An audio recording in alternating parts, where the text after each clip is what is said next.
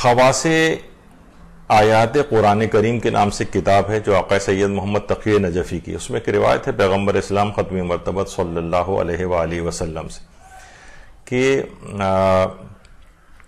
बीनाई में अगर किसी की कमी हो या आँखों के अमराज अगर उसके आँखों के कोई अमराज का शिकार हो, यानी या तो खुद उसकी बीनाई कम, में कमी वाक़ हो रही है, उसको नज़र कम आने लगा है, आई साइट ज़रा वीक हो गई है उसकी और आँखों के कोई और मर्ज है। बहुत सारे आजकल ग्लोकोमा है या और इस तरह के जो है मुख्तलिफ़ अमराज होते हैं। तो पैगंबर फरमाते हैं कि अव्वल माह अव्वल माह का जो चाँद है, यानी महीने की जो पहली तारीख का चाँद होता है, अगर कोई शख्स अपनी आँखों पर हाथ रखकर दस मरतबा सूर्य अलहमद खुलूस नीयत के साथ पढ़े, अपनी आँखों पर हाथ रखकर दस मरतबा सूर्य अलहमद, अव्वल माह का चाँद को देखे उसके बाद आँखों पर हाथ रख के दस मरतबा सूर्य अलहमद खुलूस नीयत के साथ पढ़े। उसके बाद तीन मरतबा सूर्य अखलास पढ़े। और फिर सात मरतबा ये कहे, या रब्बे कव्वे बसरी। यानी, ए परवरदिगार, मेरी आँखों के जो बसारत है उसमें कुत अता फरमा। फिर कहे, अल्लाह मकफ़े अंतल काफ़ी। अल्लाह मकफ़े अंतल काफ़ी, अल्लाह आफ़े अंतल मुआफ़ी। बस एक ये जुमला कहना है, आसान, आसानी से इसको कहा जा सकता है। तो पैगंबर फरमाते हैं, उसकी बीनाई में इजाफा हो जाएगा और उसकी जो भी आँखों की बीमारी है, वो सेहतमंदी से बदल जाएगी। अल्लाह मोहम्मद मोहम्मद।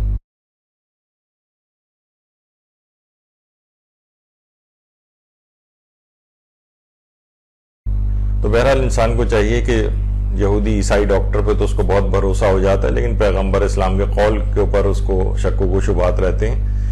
तो ये मोमिन की आजकल, बाज़ मोमिन की हालत इज़हार हो गई है। तो बहरहाल मुकम्मल एतक़ाद कामिल के साथ ये तरीक़े खुद पैगंबर ने बताए हैं आयमा मासूमिन ने बताए अच्छा इन चीज़ों के पीछे एक राज भी है कि हमेशा जो ये इस तरह की चीज़ें जो बताई गई पैगंबर या आयमा के पास जो भी अफराद आते थे, ये तो नहीं कि वो उस फ़कत आदिल अफराद को बताया करते थे ये चीज़ें। हर किस्म के अफराद उनके पास आते थे गैर आदिल भी होते थे मजहूल टाइप के भी होते थे उनके हालात तारीख के अंदर नहीं आए।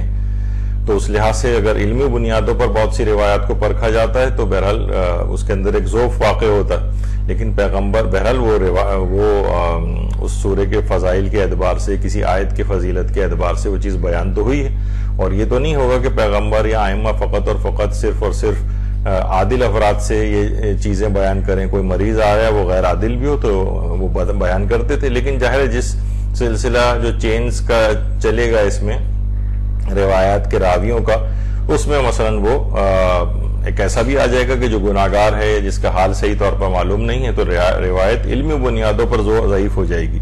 लेकिन उसका जोफ इस फजीलत से इनकार करने का सबब नहीं बनेगा। यानी आप उस उस सूर्य को उस चीज़ के लिए तब भी पढ़ सकते हैं। तो लिहाजा इस कस्म की चीज़ों के लिए गैर ज़रूरी तौर पर इन रिजाल के मबाहिस को लेकर आना एक गैर ज़रूरी काम है।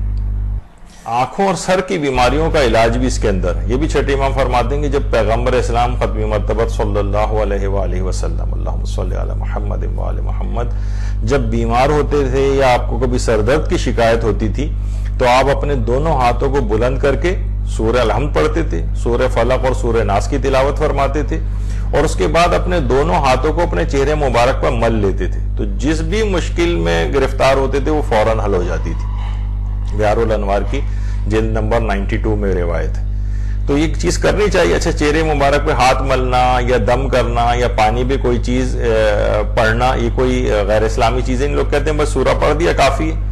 नहीं, हाथ को फेरना, इसके पीछे साइंसी चीज़ों की भी लिहाज से तहकीक होनी चाहिए कैसा क्या होता है। तो बहरहाल आँख और सर की बीमारियों के इलाज के लिहाज से ये बड़ी मुजरब चीज़ें।